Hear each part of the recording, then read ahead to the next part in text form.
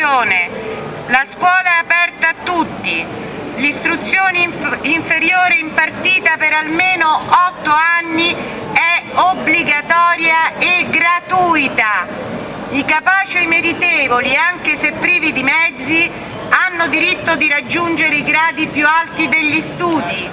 La Repubblica rende effettivo questo diritto con borse di studio, assegni alle famiglie ed altre provvidenze che devono essere attribuite per concorso.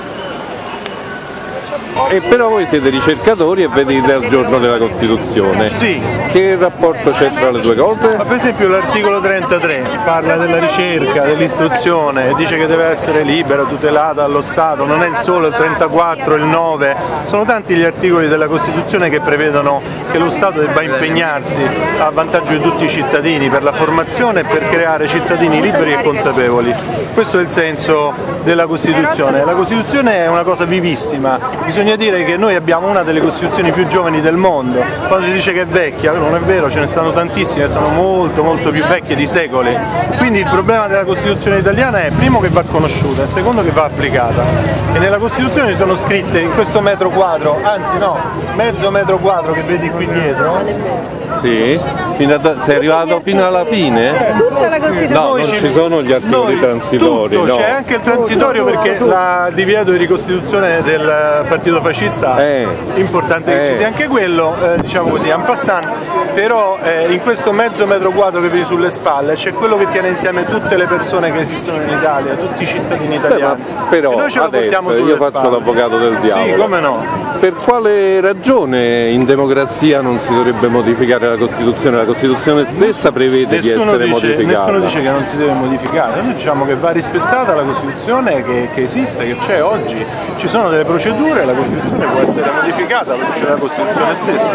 Quindi il problema è anche rispettare le procedure e modificarla in un senso che sia in sintonia con quello che facevano i padri costituenti.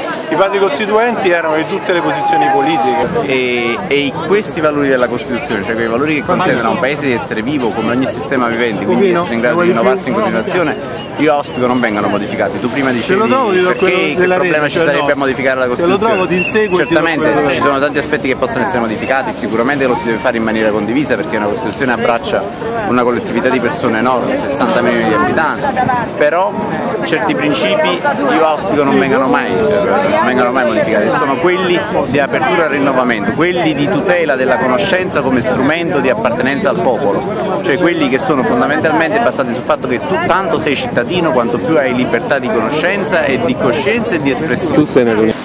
Allora io sono qua per manifestare per la difesa della Costituzione perché l'articolo 33 della Costituzione dice che la, scuola, ehm, la Repubblica Italiana riconosce la scuola privata ma senza oneri, invece qui sta succedendo che tagliano, eh, hanno tagliato in tre anni 15 miliardi di euro per l'università, la ricerca, la scuola pubblica e magari finanziano una scuola privata. Poi parlano tanto di meritocrazia, quando abbiamo al governo un ministro, la Gelmini, che fu sfiduciato nel 2000 come presidente del Consiglio Comunale di Desenzano dai suoi di- della Lega, dai suoi di Forza Italia per manifesta incapacità politica ed organizzativa. Poi parlano di meritocrazia. Da, da cosa deve essere difesa la Costituzione? La Costituzione diciamo, deve essere difesa da dei tentativi di stravolgerla, perché ho sentito parlare tanto in questi giorni di eh, possibilità di modifiche della Costituzione che effettivamente sono possibili, però in maniera diciamo, ragionevole, non stravolgendola svuotandola completamente. E in questo momento sembra che tutti gli articoli che sono almeno importanti per me, questo, la cultura, la stampa, la scuola, che sono tutti garantiti, vengono considerati più o meno come delle cose scritte lì 60 anni fa e poi chi se ne importa, ecco. Ci vede una, una differenza lei tra i padri costituenti e l'attuale governo? E beh, direi di sì, ecco, diciamo che i padri costituenti sono state delle persone, vogliamo definirle, usiamo un parolone illuminate, nel senso che si sono racchiusi e hanno creato un qualcosa E lei che... pensa che il nostro primo ministro non è illuminato? Una sua stella polare, che però è tutta sua, ecco, diciamo che a noi non interessa molto, a lui sì. E quindi sinceramente io preferivo le, le stelle polari degli altri, dei padri costituenti. Perché dobbiamo difendere la Costituzione?